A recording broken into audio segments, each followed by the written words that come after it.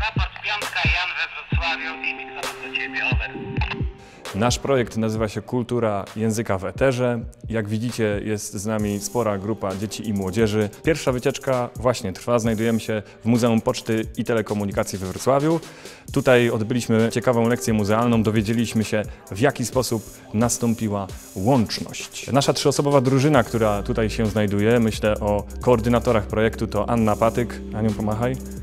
Rafał Borański, tak, i ja, Grzegorz Zmarzły, witamy Państwa serdecznie. Jesteśmy przedstawicielami kultury, edukacji i organizacji pozarządowych. Nasz projekt Kultura Języka w Eterze ma za zadanie zaciekawić młodzież i dzieciaki em, do tego, aby wspólnie porozumiewać się ze sobą przy pomocy stacji e, radionadawczej e, i oczywiście samemu tą stację stworzyć. Także śledźcie nas na Facebooku, na naszym fanpage'u Kultura Języka w Eterze, tam dowiecie się więcej. Stefan Paweł 6 Violetta, Ksawery Violetta, SP6 Violetta, Ksawery Violetta, wołacie Stefan Paweł 6 Violetta, Grażyna Adam łamany Paweł, SP6 Violetta, Grażyna Adam łamany Paweł, woła Stefan Paweł 6 Wiktor, Ksawery Wiktor. Tak, SP6 Violetta, Grażyna Adam, to SP6 Violetta Ksawery Violetta, witam.